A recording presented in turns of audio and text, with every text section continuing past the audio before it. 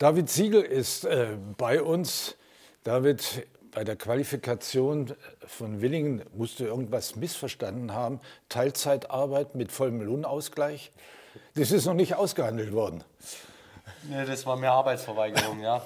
Nee, darf natürlich nicht passieren. Ist blöd gelaufen. Ähm, jetzt haben wir heute Vormittag nochmal alles durchgemessen, nochmal alles kontrolliert, ähm, angepasst und ja, dann soll es morgen definitiv anders laufen. David, das ist ja manchmal nicht so ganz einfach. Wir haben auch ein Interview mit Janne Damian gemacht und der ist ja am Kulm rausgenommen worden und er sagt, ich habe genau den gleichen Anzug, ich habe nichts verändert, ich wiege genau das Gleiche und auf einmal werde ich disqualifiziert. Das ist manchmal verrückt, oder? Ja, so ist halt manchmal. Ändern kann man es jetzt im Nachhinein sowieso nicht mehr. Deswegen draus lernen und ähm, das nächste Mal anders machen. Und hast du ein paar kritische Worte gehört oder am Ende bist du ja verantwortlich, ne? Natürlich, am Ende ist der Athlet für sein Material selber verantwortlich. Ähm, das nehme ich auch so in Kauf. Da hat jetzt kein anderer eine Schuld, sondern da bin ganz allein ich dran schuld. Die Trainer unterstützen einen, so gut es geht, aber letztendlich ja, steht der, Material, äh, hm. der, der, Athlet oben mit seinem Material. Wie viel war es denn? Ein halber Meter? nee, so weit kriege ich jetzt den also gar nicht runtergespannt. Nein, ähm, das war jetzt äh, ein Zentimeter. Ja. Also es war knapp, aber finde ich auch richtig, dass man dann einen Athlet deswegen raushaut ähm, weil es soll ja fair zugehen und alle Sportler sollen die gleiche Chancen haben. Nun hast du ja keine so ganz einfachen Zeiten hinter dir. Die letzte Saison war eigentlich komplett für die Katze ne, durch die Verletzung. Und äh, wie sieht es denn da jetzt aus? Bist du völlig beschwerdefrei? Ich bin völlig beschwerdefrei. Im Athletiktraining merke ich einen leichten Unterschied, aber auf der Schanze ist alles komplett gleich. Äh, kann uneingeschränkt meine Sachen machen freue mich da jetzt auch momentan wirklich sehr drüber, ähm, dass es auch schon wieder so gut geht, dass es immer konstanter wird und dass ich von Sprung zu Sprung mich steigern kann.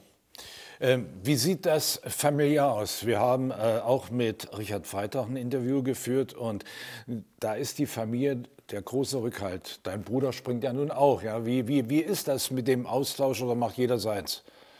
Nee, der ist natürlich da. Der wohnt jetzt auch seit dem Sommer mit mir zusammen in diese Neustadt.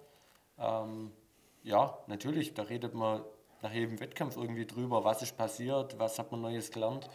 Ähm, da geht es genauso auch von ihm die Information zu mir. Also es ist jetzt nicht so, dass ich ihm da irgendwas beibringe oder ich ihn nur anleite, sondern genauso geht das Ganze auch andersrum und er bringt mich ein Stück weit weiter. Die Zuschauer kennen dich natürlich noch nicht so. Nun hast du sag mal, Freitag und äh, Wellinger und Eisenbichler, vielleicht auch Laie vor der Nase. Das heißt also, äh, da gehört ganz schön viel dazu, da erst mal ranzukommen und die vielleicht zu überholen.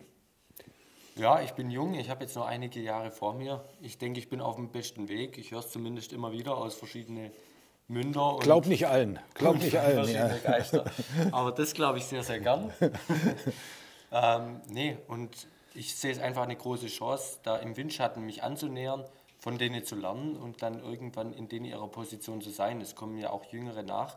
Und irgendwann möchte ich der sein, wo man sagt, okay, es ja, gibt auch ein Siegel ja, und ja, ja, ähm, wer auch immer dann an meiner Position hier steht, wo man sagt, ja, wie gehst du damit um? Ja.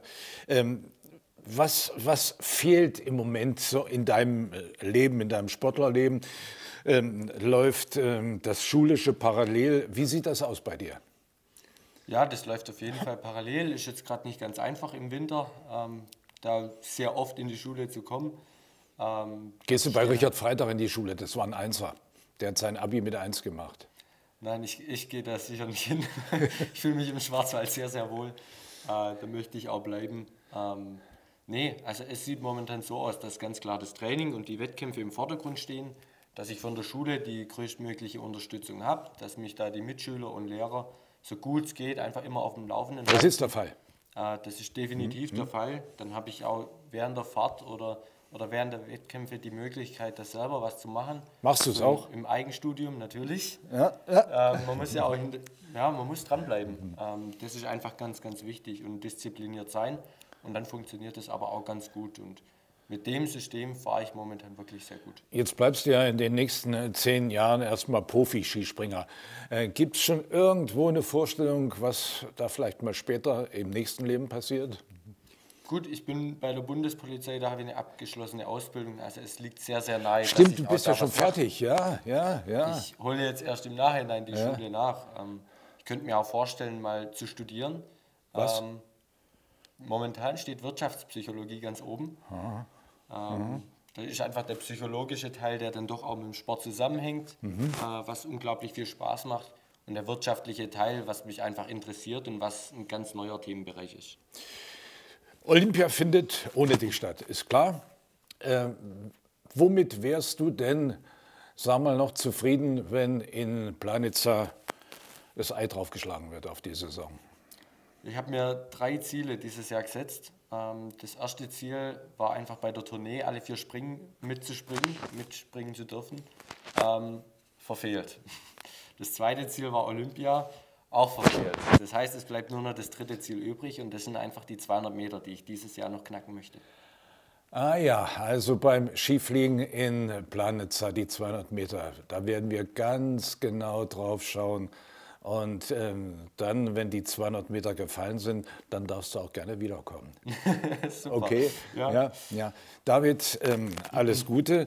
Ähm, hochinteressant, äh, hintereinander, dein Vorgänger war der Weltcup-Führende, Richard Freitag, und äh, jetzt äh, ist einer dran, der klopft an die Tür und irgendwo öffnen und schließen sich Türen immer. David, Richtig. Mach's gut. Vielen Dank. Ja, gerne. Hm?